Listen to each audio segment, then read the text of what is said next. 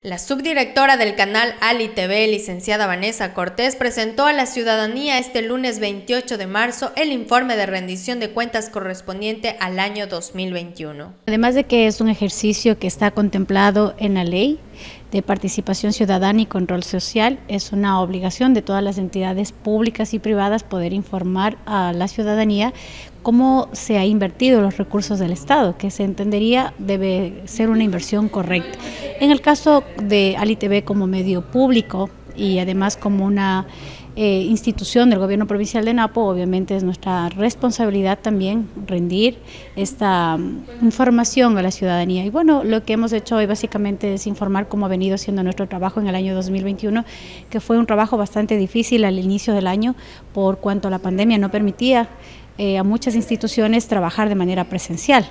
Eh, mientras ellos podían hacer teletrabajo, los reporteros, los presentadores, los camarógrafos y el personal técnico estaba aquí trabajando. El evento fue realizado en las instalaciones del canal televisivo, en el que se dio la intervención con la presentación de videos y fotografías que recogieron las principales acciones durante este año en cada uno de los espacios. Ese trabajo arduo que hacen, sobre todo sobre los 365 días del año, es bastante tesonero, bastante cansado. Y más que todo, pues es, el, es la visión de la información que llega a la ciudadanía de una manera bastante creíble. Creemos nosotros pues que como ciudadanos o como los ciudadanos que, que están fuera del canal, es de vital importancia que ellos se puedan comunicar o que puedan tener una información severa, veraz y contundente después de todo lo que pasa en nuestra bella provincia. Con la presencia de varios invitados, Ali TV, canal emblemático con alcance local, durante el año anterior reportó a diario con las noticias más relevantes de la provincia.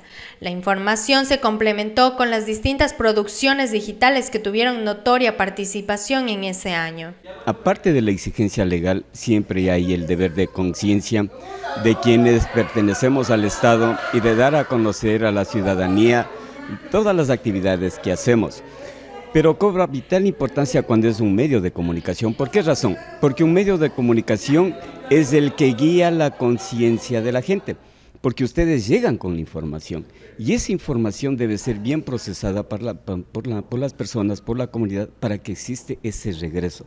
Y solo ahí podemos nosotros verificar si vamos en el camino correcto o vamos en el camino incorrecto. Me encanta su programación, me encanta cómo lo dirigen, aparte de ser dinámico, aparte de ser entretenido, ustedes tienen una línea muy imparcial del contexto institucional del gobierno provincial y buscan canalizar el pensamiento de la gente y eso es muy bueno, que la gente que no tiene acceso a la información, ustedes llegan allá y tenemos nosotros esa posibilidad de sentir el pensamiento que tiene nuestra gente, principalmente nuestra gente quichua.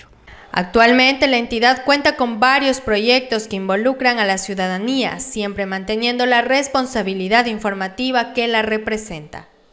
Con cámaras de Pedro Cerda, informó Gabriela Velastegui, Noticias al Día.